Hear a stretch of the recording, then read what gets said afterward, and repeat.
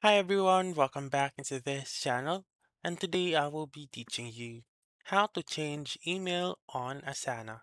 So let's begin right away. The very first step is to open your Chrome, Safari, or any web browser that you want and then proceed to app.asana.com and then sign in with your account. Once you have signed in, simply go to your profile by clicking on your profile found on the upper right corner, which is this one, and then click on My Settings. Once you're here, simply go to Email Forwarding and click on Add New Email. Once you're here, type in the new email address that you want and then make sure that this new email address is working and then type in your Asana password and then send a verification email.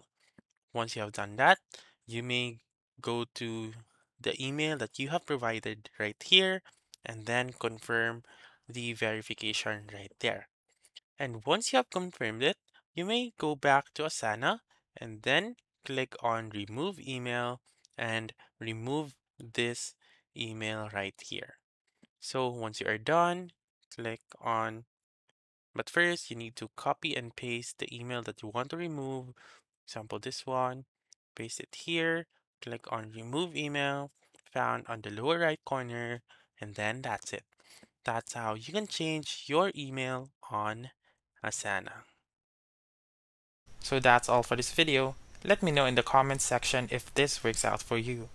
For more helpful tutorials like this, Please subscribe to our channel and don't forget to click that notification bell. Thank you for watching and have a wonderful day.